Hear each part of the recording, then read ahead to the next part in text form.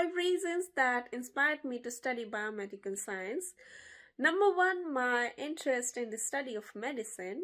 Number two, my curiosity to learn about how the human body works and the different causes of disease.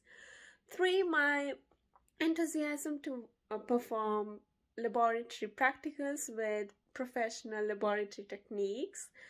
Number four, the relevance of the modules to my future career goal. And number five, multiple career options like working in a hospital laboratory as a biomedical scientist or working in a forensic science lab or medical sales or any other scientific career.